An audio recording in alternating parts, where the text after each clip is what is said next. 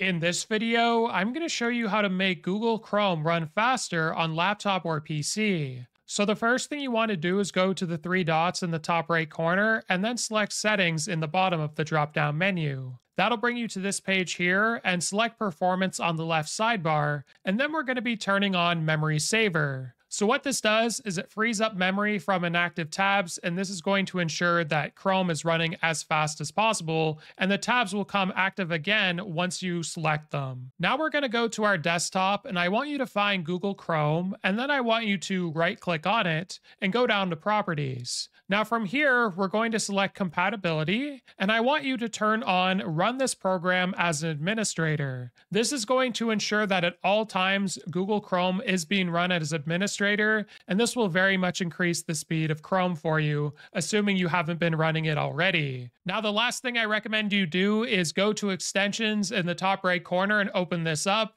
and just go to the three dots over any extensions you aren't using anymore and go to remove from Chrome because this is going to make it run slower. So hopefully this video was helpful. Like and subscribe and we'll see you in the next one.